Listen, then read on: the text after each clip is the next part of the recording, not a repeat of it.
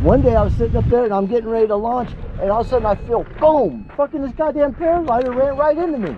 What? I said on top I'm of flying the, around? Yeah, up top of no, he was going to launch too. I was like, Are oh, you fucking kidding me? I holy was, shit! I was right in front of him, but if he would have, we would, oh, it would have, he pissed me off. I was like, man, you don't see that I'm, I'm, I'm on, you know, because I was very cautious about. Oh, he's an, he's an experienced pilot. I guess